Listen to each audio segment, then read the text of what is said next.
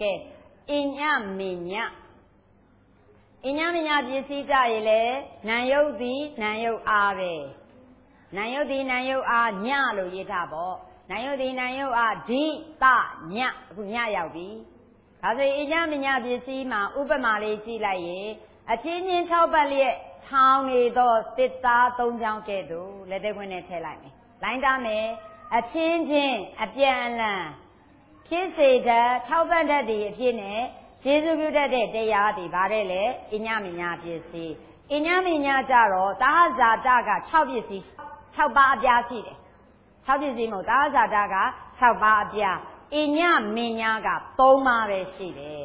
ဟုတ်ပြီနော်အဲ့ဒီ3ပါးအဲ့တော့လိုက်သားရေအညမညာပစ္စည်းသည်နံခန္ဓာစသည်တို့၏အစွမ်းအပြင်လိုင်းတားပါ၃ပါးအပြားရှိကြည့်ရမယ်နော် သာဇာတာဘယ်နှပါလဲ6ပါးအပြားအဓိပတိယဘယ်နှပါလဲဟောဟောဟောဟောအဲသွားရောသွားရောအဓိပတိကဘယ်နှပါးပြားရှိလဲနှစ်ပါးဘာလေးပါလဲနှစ်ပါးဘာလေးလဲသာဇာတာနဲ့အာရမနာဓိပတိအဲ့ဒီလိုအဲ့ဒီလိုသာဇာတာကဘယ်နှပါးအပြ6ပါးအပြအညမညကဘယ်နှပါးအပြ အဓိပတိကဘယ်နှပစ္စည်းအဲအဲ့ဒီလိုပြောမှမှန်တာပေါ့အပြလို့ပြောတော့ဓမ္မမင်းဆိုတာဘယ်သိမလဲဟုတ်တယ်ပေါ့နော်အဓိပတိကဘယ်နှပစ္စည်းလဲနှစ်ပစ္စည်းရှိတယ်ဟုတ်ပြီသာဇာတာဘယ်နှပစ္စည်းလို့မပြောဘူးသာဇာတာဘယ်နှပစ္စည်းဆိုတာပညာဝါဒကျမ်းမှာသွားမယ်ဟုတ်ပြီနော်သာဇာတာမှာဘယ်နှပါးအပြရှိအဲအဲ့ဒါပစ္စယနေတဲ့တာအနေပြောသွားမှာအညမညကဘယ်နှပါးအပြားရှိ အဲ့တော့ဓမ္မမိတ်ဆွေတို့ဒီတာဟဇာတာဒီအထံပစ္စယနေတဲ့တာဇရာလေးပဲကြည့်တာဟဇာတာနံပါတ်6ဟုတ်လားယင်အညမညနံပါတ်ဘယ်လောက်လဲတာဟဇာတာကအားလုံးပေါင်းဒီမှာပြထားတာ၄ခွက်ဟုတ်တယ်လားဇရာအနေနဲ့၄ခွက်ဒါပေမဲ့ကျမတို့က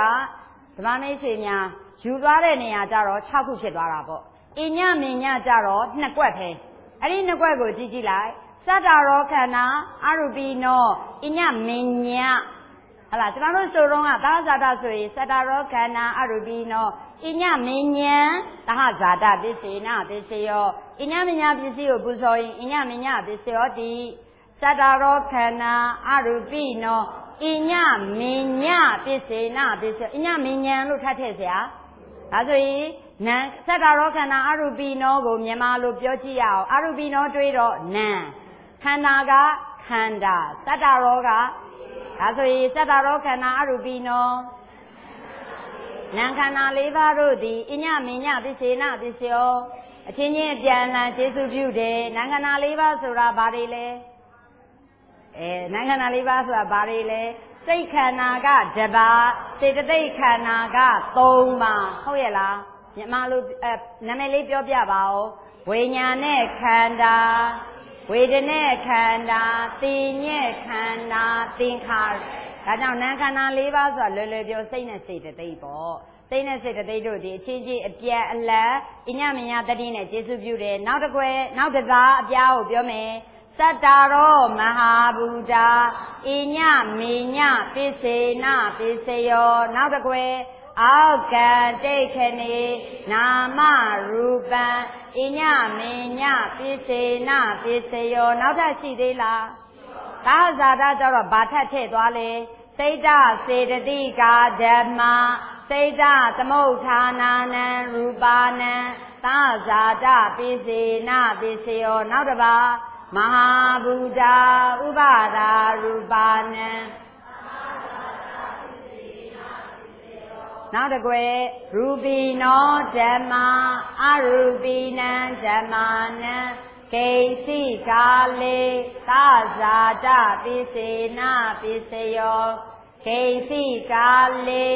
န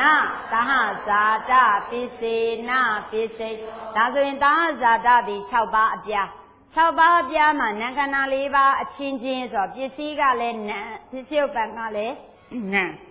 သတ္တရောမဟာဗုဒ္ဓအညမညံဆိုမဟာဘုတ်ယုတ်၄ပါးအချင်းချင်းဆိုပစ္စည်းကလည်းမဟာဘုတ်ပစ္စယုတ်ပံကလည်းမဟာဘုတ်အဲဒါအောက်ကဒိဋ္ဌနေနာမရူပံအညမညံဆိုပစ္စည်းကလည်းပဋိတန်တွေပစ္စောကာရပဋိတန်တွေခဏမှရှိနေတယ်ပဋိတန်တွေစိတ်စေတသိက်နဲ့ဟာရယဝေထုပစ္စယုတ်ပံကလည်းဒါပဲဟုတ်လားအချင်းချင်းအပြန်အလှန်ပဋိသန္ဓေစိတ်စေတသိက်နဲ့ဟာရယဝတ္ထုတို့ဒီအပြန်အလှန်မဟုတ်ဘူးလားကဲနောက်တစ်ခု စိတ်ဓာတ်စေတသိက်ကဓမ္မယစိတ်စေတသိက်ပစ္စယုပံကိုကြည့်လိုက်တော့စိတ်ဓာတ်သမုဋ္ဌာဏနဲ့ရူပနံယစိတ်တဇာယုပစ္စည်းကစိတ်စေတသိက်နံပစ္စယုပံကစိတ်တဇာယုမဟာဘူတာနဲ့ဥပါဒရူပနံကိုကြည့်တော့ပစ္စည်းကမဟာဘုတ်ယုပစ္စယုပံကဥပါဒါယုရူပိနောဓမ္မကပစ္စည်းကဟာရယဝတ္ထုယုပစ္စယုပံကအရုပိနံဓမ္မနံဆိုတော့ ဟာရယဝတ္ထုမှာမိနေတဲ့စိတ်စေတသိက်ဟုတ်ပြီလားပစ္စည်းတန်တွေအခါကြရင်တော့အတူတကွဖြစ်တယ်ကြပြိုင်နဲ့ပဲတဝတိကာလကြတော့ဖြစ်ချင်လဲဖြစ်မယ်မဖြစ်ချင်လဲမဖြစ်ဘူးသဘောပေါက်တယ်နော်ကဲဒီဒီလိုက်နိုင်လားနားလဲတယ်နော်ဒါကိုကြည့်ချင်းအားဖြင့်သာဇာတပစ္စည်းဘက်ကိုကြည့်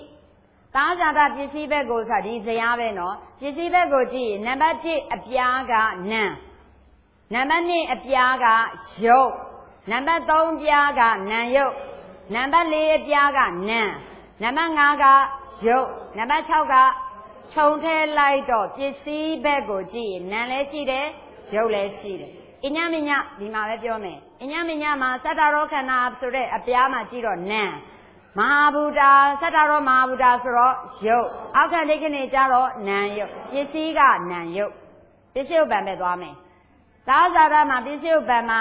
တတရောခန္ဓာအရူပိနောအညမဉ္ဇဉ်ဆိုပစ္စည်းဥပ္ပံကလည်းနံခန္ဓာပဲမဟုတ်လားနံတတရောမဟာဗုဒ္ဓဆိုပစ္စည်းဥပ္ပံကလည်းယုတ်အောက်ကဒိဋ္ဌိနေနာမရူပံဆိုပစ္စည်းဥပ္ပံကနံယုတ် စိတ်ဓာစေတသိက်ကာဓမ္မဖြစ်လာမဲ့စိတ်ဓာသမုဋ္ဌာဏနဲ့ရူပနံကြတော့ယုတ်ဥပါဒရူပနံဆိုတော့လေယုတ်အာရုပိနံဓမ္မနံဆိုတော့နံဒါဆိုရင်ပစ္စည်းဥပ္ပံကြည့်တော့လေနံယုတ်ပစ္စည်းကြည့်တော့လေနံယုတ်အညမညလည်းထုံနေတူစားဆိုဆိုလို့ရပြီနံယုတ်သည်နံယုတ်အားတနဲ့ညပေါ့ဒါဟာဇာတာရောအညမညရောပါလားမပါဘူးလားပါတယ်နော်ဒီထိလိုက်နိုင်လား ဆက်ပြီးတော့ဆိုကြည့်နံယုတ်သည်နံယုတ်အားဒီဆိုတော့အဓိပတိသဆိုတော့ညဆိုတော့နောက်ပြီးတော့နီးဆိုတော့ဘာလာမယ်နေတရားအဲ့တော့စက်ကြည့်မယ်ဒီဇရာမှာဇရာမှာပဋ္ဌာန်းဇရာလေးမှာ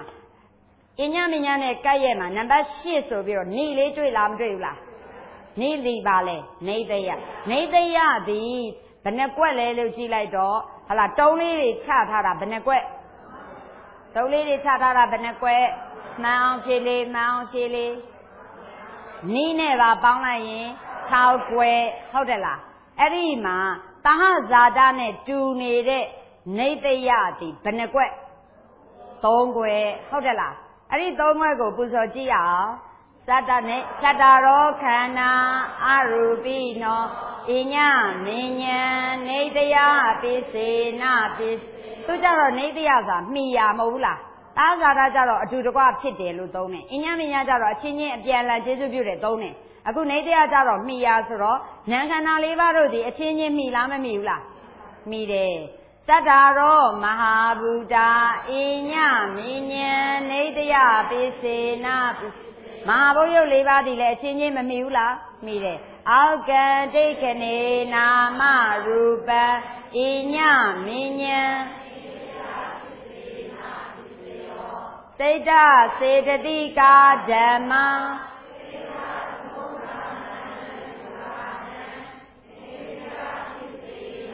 ဒါဆိုရင်ဘသူကဘသူကိုမိတာ စိတ်စေတသိက်တရားတွေကိုစိတ်တစားယုတ်တွေကမိလားမမိဘူးလားစိတ်တစားယုတ်ကိုစိတ်စေတသိက်ကမိလားမိလားမိလို့မရတဲ့အတွက်ကြောင့်အညမညံထဲလို့ဒါဆိုရင်စိတ်စေတသိက်တရားကိုစိတ်တစားယုတ်တွေကမိရလားမမိရဘူးလားရက်ချီနဲ့စိတ်ရှိနေသေးသေး၍ရက်တဲ့ယုတ်ကြီးဖြစ်နေမှာ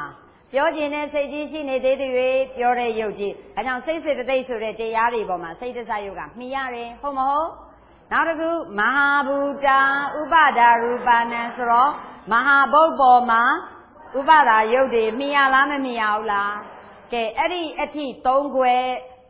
ဟလာဇရာအနေနဲ့ရေးတော့၃ခွဲပေမဲ့အဲ့ဒါဒီသဟဇာတ၅ပါးအပြားနဲ့တူမတူဒါကြောင့်အဲ့ဒီ၃ခွက်တနည်းအားဖြင့်အပြားအနေနဲ့ပြောရင်1နဲ့3 4 5လို့ရေးထားတာမဟုတ်ဘူးလားအဲ့ဒီနေတယကိုသာဇာတာနေတယလို့ခေါ်သည်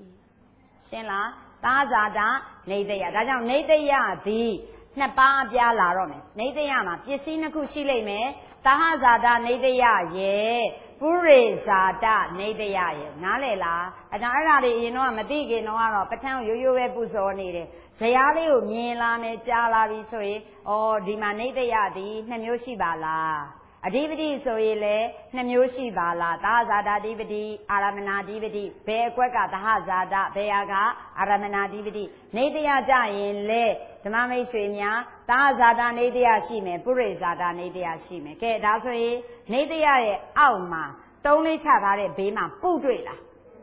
အဲ့ဒီပုရိဇာတာနဲ့တူနေတဲ့ဟလာနေတယလေးကိုကြည့်ပုလေးနဲ့တန်းတန်းကိုကြည့်ပစ္စည်းမှာကြည့်သက္ကာယတနံပကာယယတနံဟုတ်လားဟုတ်လား အဲ့ဒီအဲ့ဒီဟာဒီသက္ကုသောတာဂာနစိန်ဝါကာယမဟုတ်ပါဘူးလား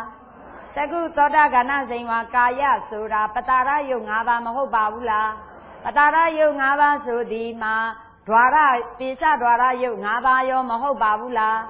ဒွါရယုတ်ဟုတ်တယ်လို့ပတာရယုတ်၅ပါးဆိုတာဝိထုယုတ်၅ပါးရောမဟုတ်ပါဘူးလားဒါဆိုရင်အဲ့ဒီသက္ခာယတနံကနေကာယယတနံအထိဆိုတဲ့ ဟာကိုဝိထုပုရိဇာတာလို့သုံးတော့မှာရိုးရိုးပုမဟုတ်ဘူးဘာပုလဲဝိထုယုတ်ဝိထုယုတ်ဖြစ်တဲ့အတွက်ဝိထုပုရိဇာတာဒါကြောင့်အဲ့ဒီပုလေးဒီဘာပုဝိထုပုအဲ့ဒီအကွက်ကလေးမှာဝိထုစာတို့ထားဝိထုပုသူ့ရဲ့ဘေးမှာရှိတဲ့ဏိကလည်းဘာနေလဲဝတ္ထုပုရိဇာတနေတယပေါ့ဟုတ်လားတပါးလေးရှင်များအဲ့ဒါလေးသိရမှား ဟိုးအောက်ကိုကြော်လိုက်နေတရားရဲ့တန်တန်ကိုကြော်ကြည့်လိုက်ယံရူပံနေသာယဆိုတွေ့ပါလားအဲ့ဒီယံရူပံလေးကိုလိုင်းတာပါအဲ့ဒီယံရူပံလေးရဲ့ဘေးမှာဟရယဝတ္ထုလို့ရေးဒါဆိုရင်အပေါ်မှာသက္ခုသောတာဂာနစိန်ဝါကာယဆိုတဲ့ပြင်စဝတ္ထု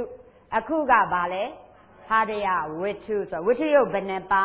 6ပါအောက်မှာတန်ရူပံဆိုလဲယံရူပံကိုပြန်ညှိုးနာပဲဒါပြီနော် ဒါဆိုရင်တော်ပြီနေတရပစ္စည်းသည်ဘယ်နှပစ္စည်းအပြားရှိပါလဲနှစ်ပါးအပြားရှိတယ်ဘာပစ္စည်းနဲ့ဘာပစ္စည်းသာဇာတနေတရပစ္စည်းရဲ့ပုရိဇာတနေတရပစ္စည်းသာဇာတနေတရပစ္စည်းအပြား၅ခုပုရိဇာတနေတရပစ္စည်းကဝတ္ထုကိုပဲပြောရလိမ့်မယ်ဒါကြောင့်ဝတ္ထုရုပ်6ပါးပါလိမ့်မယ်နားလည်ပြီကဲဖတ်လို့ရပြီနေတရပစ္စည်း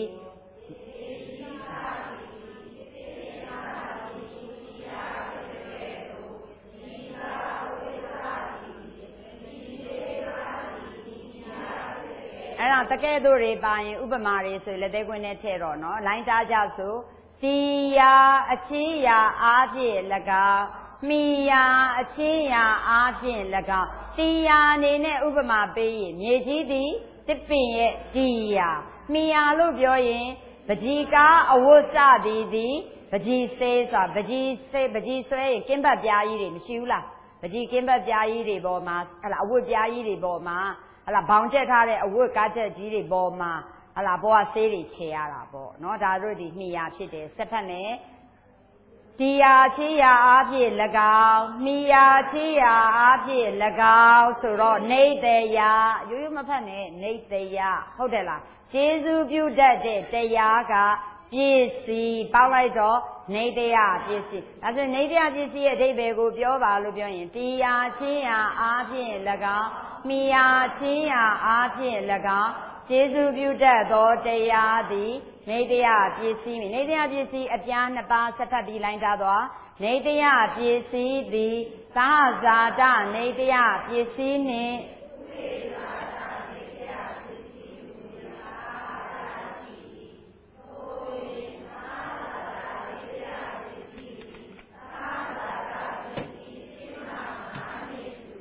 ဒါဟုတ်ပြီနားလည်ပြီနော်ရင်းဆောင်ချက်လိုက်သာဇာတနေတရားပစ္စည်းဆိုတာလိုင်းသားသွားကဲဆက်မယ်ပုရိဇာတနေတရားပစ္စည်းကို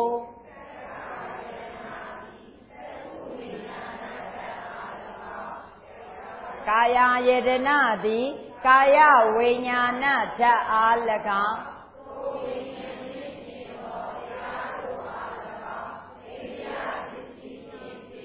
အဲ့ဒါလေးကိုကြည့်ရင်ဇရာလေးမှာကြည့် ဇရာလေးမှာကြည့်ရင်နေတရမှာသက္ခာယေတနံခဘက်ကိုကြည့်လိုက်သကုဝိညာဏဓာတုယာတန်တန်မြုပ်တကားနိစဓမ္မာနံ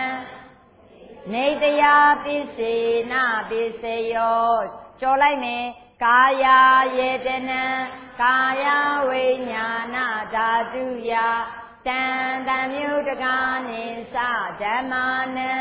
နေတရားပစ္စယေနပစ္စယောရသွားပြီနော်အောက်တစ်ချောင်းဆိုအဲ့ဒါဆို၅ခုပြီးသွားပြီမှတ်လားသက္ခုသောတာခဏစိဝါကာယပြီးအောက်ကိုကြော်လိုက်ယံရူပနေသာယမနောဓာတုစမနောဝိညာ